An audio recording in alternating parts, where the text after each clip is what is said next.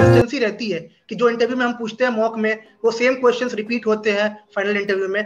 क्या इसकी कंसिस्टेंसी क्या रहती है आपके हिसाब से? सर, मेरे केस में तो एट्टी परसेंट वही क्वेश्चन थे जो आपने पूछे।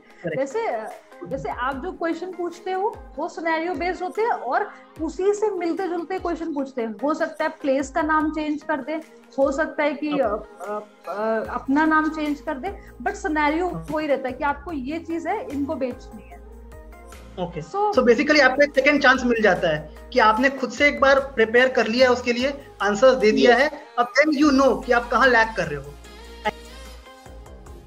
उस टाइम आपके पास कोई ऑप्शन नहीं रहता। उसमें अगर आप पहले प्रिपेयर कर लोगे मॉक टेस्ट देके या फिर जो वीडियोस देख के उससे आपको बहुत हेल्प मिलेगी। एंड अगर आप मॉक टेस्ट दोगे तो आपको एक कॉन्फिडेंस बिल्ड हो जाएगा कि जब आप नेक्स्ट टाइम जो फाइनल राउंड जो और दोगे बाईजूस में उसमें आपको कॉन्फिडेंस कि हाँ मुझे पता है इसमें से मोस्टली जो आप पूछते हो वही क्वेश्चन आते हैं।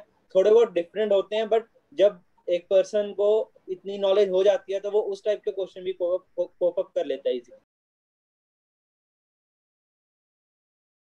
I want to know from you before I start. I should know from you that what you felt about the interview. How was it?